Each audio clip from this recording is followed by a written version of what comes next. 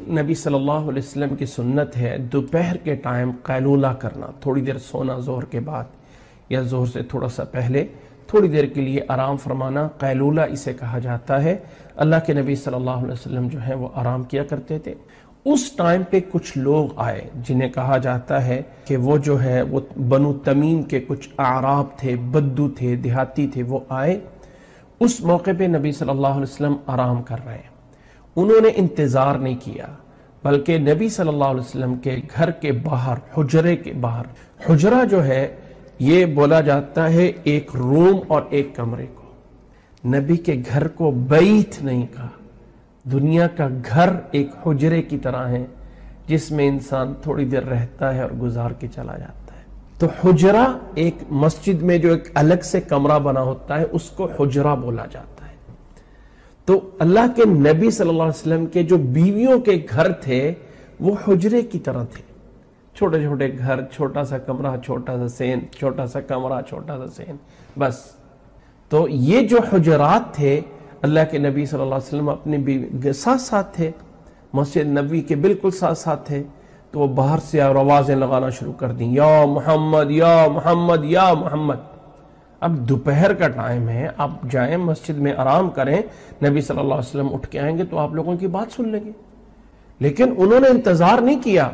उन्होंने इंतज़ार नहीं किया अल्लाह के नबी सल्लल्लाहु अलैहि वसल्लम का और आवाज़ें देना शुरू।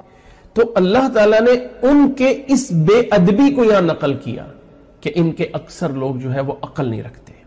अगर ये लोग थोड़ा सा सब्र कर लेते और इंतज़ार कर लेते कि आप खुद इनकी तरफ़ आए लक्का नखीर अल्लाह तो ये कितना बेहतर होता है इनके लिए। यहाँ से एक बात समझ आती है, दो बातें। कि अल्लाह के नबी अल्लाह को कितने प्यारे हैं कि अल्लाह ताला उनके सोने का भी ख्याल रखता है।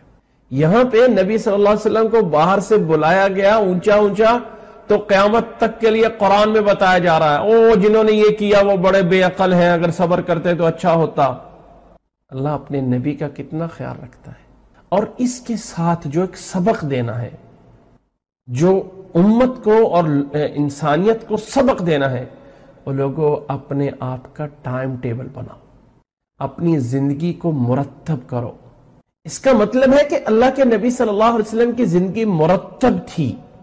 फला टाइम पे जॉब पे, फला टाइम पे घर में, फला टाइम पे बच्चों के साथ, फला टाइम पे जो है वो ये काम फला टाइम पे ये काम, जब ये चीज़ें खलत मलत हो जाती हैं तो इंसान के लिए बहुत सी मुश्किल हो जाती है। इंसान कोशिश कर ले हाँ दफ़ा मुश्किल हो जाता है, लेकिन एक दिल में एहसास होना चाहिए कि ये सोने का टाइम है। इस टाइम पे ये ना करो। अल्लाह के नबी सल्लल्लाहु अलैहि वसल्लम के इस सोने के टाइम पे, सोने के टाइम पे उन्होंने आके जगाने की कोशिश की, अल्लाह ताला ने उनकी मजम्मत की। एक सबक देना है। लोगों, अपने आप को, अपने टाइमों को मुरतब करो, अपने औकात को, और औकात का, दूसरों के औकात का ख्याल रखो। एक मौके पे हम घर में सो रहे थे, सो रहे थे, और गालिबा रात के दो बजे तो एक दरवाज़ा ज़ोर ज़ोर से खटक रहा ठक ठक ठक। ऐसे लगा, और इतना डर आ गया कि भाई, इतने बजे एक इतनी ज़ोर से दस्तखत दिए जा रहा है। मैं खुद उठा और डर के मारे आहिस्ता आहिस्ता दरवाज़ा तक पूछा, भाई कौन? तो उसने बताया, मैं आपका पड़ोसी हूँ, आपसे थोड़ा सा काम है। मैंने कहा, बताइए, बाहर निकले। कहने लगे, जी, मुझे ये वाला मसला हो गया है मेरे लिए तो मेरे लिए ये चीज़ जायज़ है कि नजायज़ है? मैंने उसको मसला तो बता दिया, लेकिन दिल में एक बात आती कि यार, ये वाली बात तो सुबह भी पूछी जा सकती थी। रात के दो, तीन बजे जब सारे लोग सो रहे थे तो कितने घरों को उसने जगा दिया। कहने का मतलब ये नहीं है, बात सिर्फ़ समझाना है कि अल्लाह ताला ने कहा है, अपने नबी सल्लल्लाहु अलैहि वसल्लम के आवाज़ें देने वालों को अगर सब्र करते तो बेहतर होता। तो इसलिए हमें भी चाहिए कि हम जो हैं जो इंसान ज़िंदगी बाअदब बनाना देखे, अपना टाइम टेबल बनाए, दूसरों को काम कहने से पहले सौ दफ़ा सोचे कि वो मेरा काम करेंगे कि नहीं करेंगे। मत सोचे, जसारत करें, हर एक को बोले, ये करके आओ, वो करके आओ, ये करो, वो करो, नहीं।